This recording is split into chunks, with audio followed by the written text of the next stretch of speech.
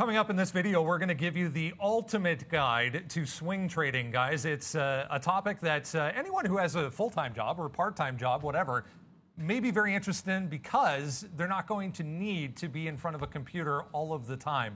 So let's jump right into it here because there's a lot to get through.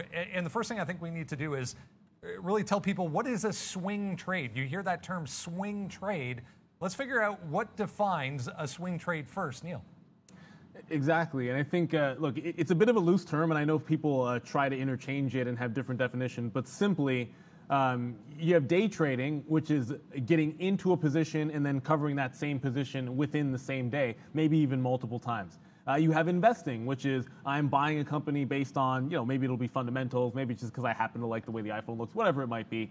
Uh, but you plan on holding on to that as a long term investment for years, uh, potentially. And, and sometimes that can be like quarters.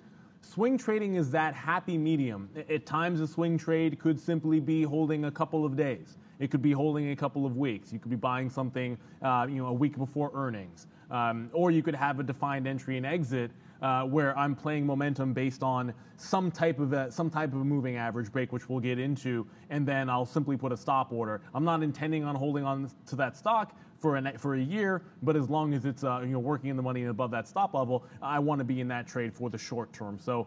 Um, it's not that day trade, um, and it's not that long-term investment. It's that happy medium, which is fantastic for people who are looking for that second passive income, but might have a full-time job. Okay, so now we understand exactly what we're talking about here. The next step is going to be how do we come up with, you know, what stocks do we look at to to get into a swing trade? If we're looking at, you know, a multiple day type of idea, Sean, give us a couple of ideas here on how we can maybe filter down our universe uh, to a possible group of stocks to swing trade. Perfect. I, I, think that uh, a great, great intro there, Brendan. Thank you so much uh, for that. And I think that's the most important thing. When you're swing trading, you need to pick a stock, a sector, something that's hot. Because if you're just going to sit there and I'm not picking on General Electric, but something that really doesn't have sort of the swing abilities to it, really no news around it, something like that. Uh, and, and, again, we just randomly picked that stock. You may not get the action you're looking for. And then you have like time decay, right? Like you're trying to swing trade, but nothing's really happening. So I actually have a great example here, and that's going to be Ford. Um, so again, let, let's, let's go back. Is it a hot stock? Yes, it is. And why is that? Right now, with the pandemic, automotive on everybody's mind. Are people buying more cars? Are they selling cars? Are they buying used cars? Who knows? Are people going back to work? Are they going to take public transportation or are they going to invest in maybe a new vehicle? So th- we have that aspect of Ford. And now we also have the EV, you know, part of Ford. They just turned yesterday in Investor Day that, you know, 40% of their fleet as of 20 2030, I believe, is going to be EV space. So look at this. Here you go. So we look at Ford. You know you like you know you like Ford, so we've picked that name. We don't want to go with a NIO. We don't want to go with a Lordstown. We want to stick with a name that, hey, does have some potential to move to the upside on some news. So we know the F 150 is a very popular truck, so we pick Ford. Look at this dip down here. This is off earnings. Right now, there's a semiconductor shortage, so they get hit on earnings. What I look for is a base, right? Some kind of consolidation. We have that here on Ford. So comes back down, makes this base at 11, 11, 25. So to me, if we have the catalyst, we have the right name, and now we have a setup on the chart. So for me, that's a go. Now we don't know if we want to hold Ford for a longer term, right? But we do know that we're approaching this 50 period moving average. That's a big indicator for me. And we have these bottoms. So I actually tweeted out and put this out there that we went long 1131 in here, basically for a back move to VWAP, which happened, which is this is the 50 period, story, not VWAP. That happens, and then it actually doesn't even give us a chance to get out. It breaks right through, and then yesterday we had Investor Day, so that's another catalyst. Bang, also, you have a 52 week high here. So this gives us all of this swing opportunity. So 1130 just back, May 13th. So we're in about two weeks now, upside. And now you have that break of the high. And in my opinion, if you're swing trading, which what we're talking about here, you have that break. That's your first indicator. Then you break the high. Now is probably a time to think about pairing off some of this position. You've now been in it for two weeks. You have a beautiful, like you're up 30, 40%, uh, you know, depending on where you're in, 40% upside on Ford in two weeks. That's a great swing trade. So you have the right sector and the right name, along with some technical indicators there that give you that bottom so you have a little bit of risk and then you get that upside explosion. I think you got to take that 40% in two weeks.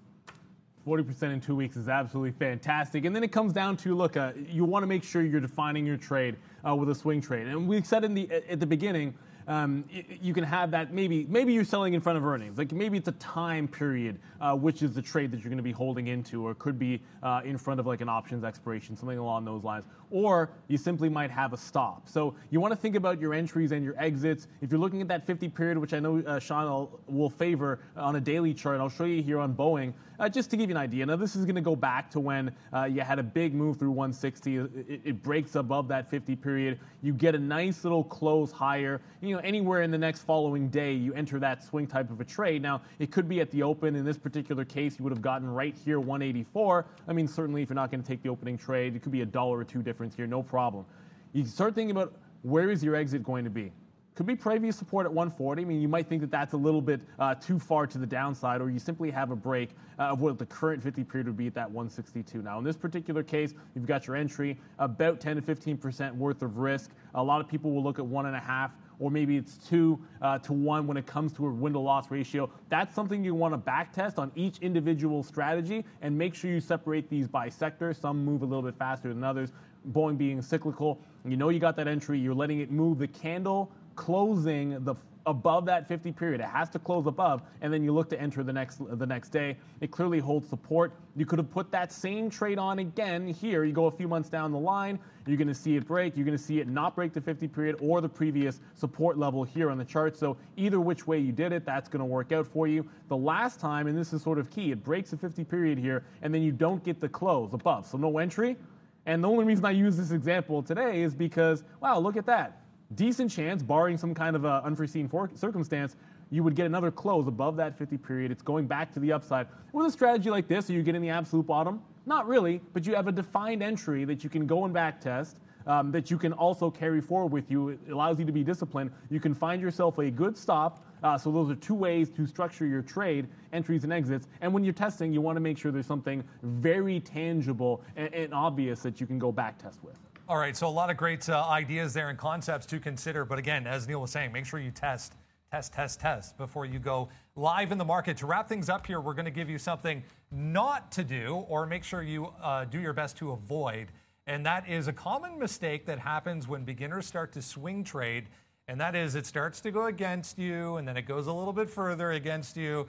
And then six months goes by, and you're now holding a, an investment, really. So, what we want to try and avoid, guys, is having swing trades as swing trades and investments as investments. Give us your take on how we can avoid doing this.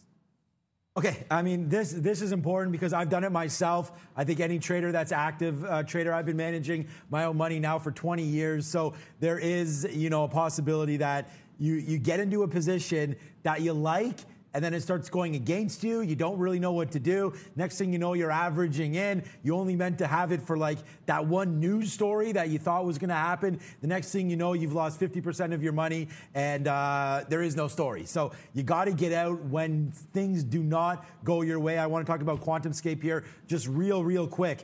So I actually made a play into the swing account and we talked about this live on the show when we made this play and it was right here. So QuantumScape was right here off earnings. So QuantumScape here, you can see the bottoms. Forget about this; it's a new SPAC.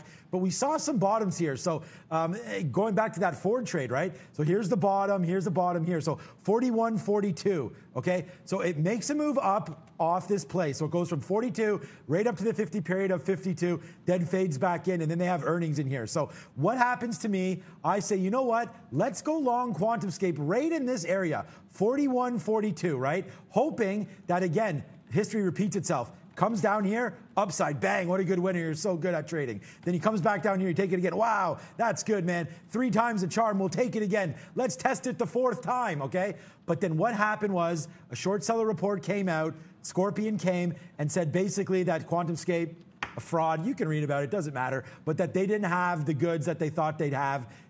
Look at this move, downside, down to 30, makes a bounce back up back down, down, down. And now it's $23. So all of a sudden, this $41 hold, Brendan, that you had right there you know, something changes, and now all of a sudden you're just waiting for that five or six dollar bump so you could get out, right? I mean, that's the call. You want to make your quick little money and get out of there, but unfortunately, you don't, and that never happens because here's the move: you don't even have a chance to get out. Well, as soon as something material changes, and that's the point. There was a short seller report that came out changed the stock. We were able to get out, and again, it was happening live on the show. We got out $38, $39, something around this area, and then we didn't have to worry about this move down. So if you're swing trading, you have to have tighter stops, and you have to pay attention to the recent news, whether or not it be earnings or some kind of a report like that. It's such a great uh, uh, topic and a great uh, point you make there, and that is if the reason that you're in the trade is no longer there, is no longer you know relevant, you just get out of the trade. You get out of the trade, you reevaluate, and in this case, a great outcome for Sean, avoiding a much bigger loss. There we go, guys. A little bit on your swing trading guide if you're just starting out on longer term basis. If you like this content, make sure you hit the like button and subscribe to this channel. Here's Valeria. Hey guys, thank you for this helpful information. Dear viewers, please subscribe to this channel to see more great videos.